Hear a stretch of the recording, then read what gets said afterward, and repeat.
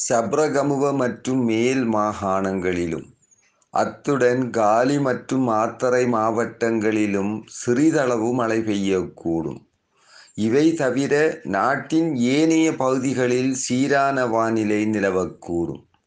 கடல் பிராந்தியங்களை பொறுத்தவரையில் கொழும்பு தொடக்கம் காலி ஊடாக மாத்தறை வரையான கடல் பிராந்தியங்களின் சில இடங்களில் மழை பெய்யக்கூடும். கடல் பிராந்தியங்களில் மணித்தியாலத்துக்கு இருபத்தி ஐந்து முதல் முப்பத்தி ஐந்து கிலோமீட்டர் வேகத்தில் தென்மேற்கு திசையிலிருந்து காற்று வீசும். அம்மாந்தோட்டை தொடக்கம் பொத்துவில் வரையானே.